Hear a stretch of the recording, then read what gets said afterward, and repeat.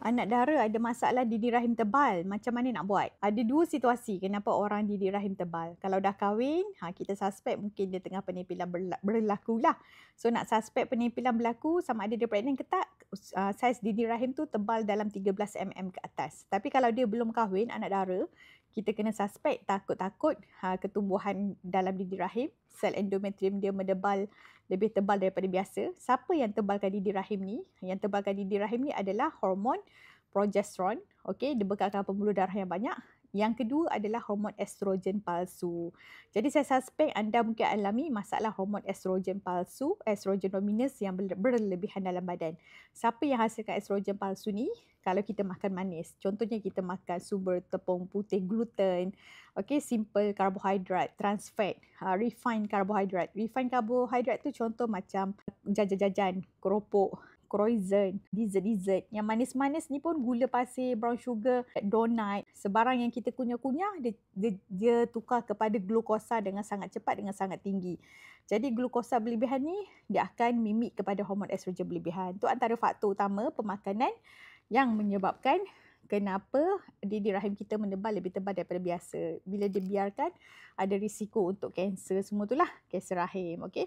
Tips ni pun sangat membantu untuk siapa yang ada masalah endometriosis, fibroid dan head berpanjangan. Jadi first thing first anda kena elakkan semua sumber estrogen dominance, estrogen bimik berlebihan. Okey, yang tadi antara dia adalah uh, glukos yang pertama. Okey, simple carbo, refined carbo, trans fat. Yang kedua adalah uh, makanan yang dibungkuskan dalam plastik.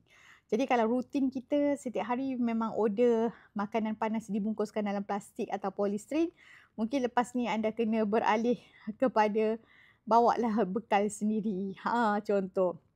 Okey, selain daripada tu, minuman.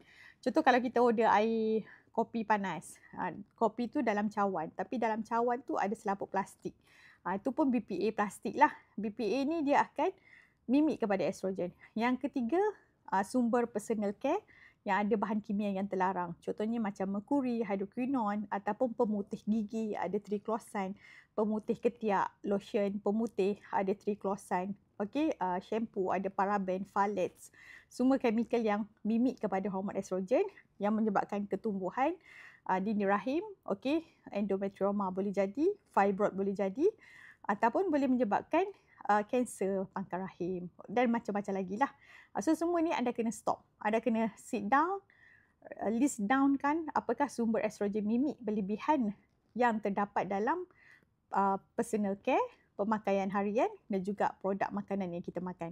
Okey, harap membantu. Okey, siapa yang anak dara, bakal pengantin ataupun yang dah kahwin yang nak seimbangkan hormon, follow Tito ni. Tengok dekat tips stabil hormon seimbang ke atas.